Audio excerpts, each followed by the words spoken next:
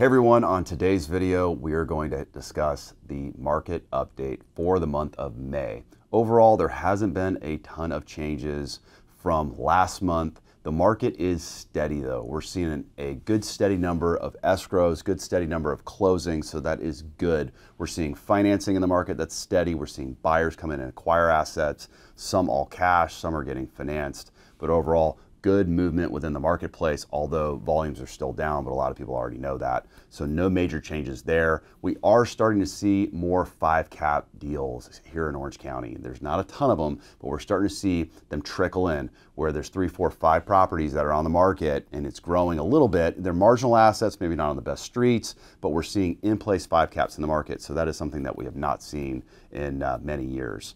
We've really seen a little bit more of a tale of two different worlds. The small plex market is really rolling. We're seeing multiple offers. We're seeing prices sometimes going over asking. There's a lot of buyers, a lot of pent up demand, and very, very little inventory. Now you're seeing bigger size assets, call it 10, 20, 30 million dollar assets. It's a little softer in the market. Possibly some investors that have cash that are on the sidelines don't want to part with that amount of cash and put that to work right now. They're a little cautious. They might want to wait. So if there's a great asset, there is a big flight to quality and people will step up, part with that cash and acquire a building right now. But overall, it's a tale of two different worlds where it's a little soft on the bigger deals and the smaller stuff is moving.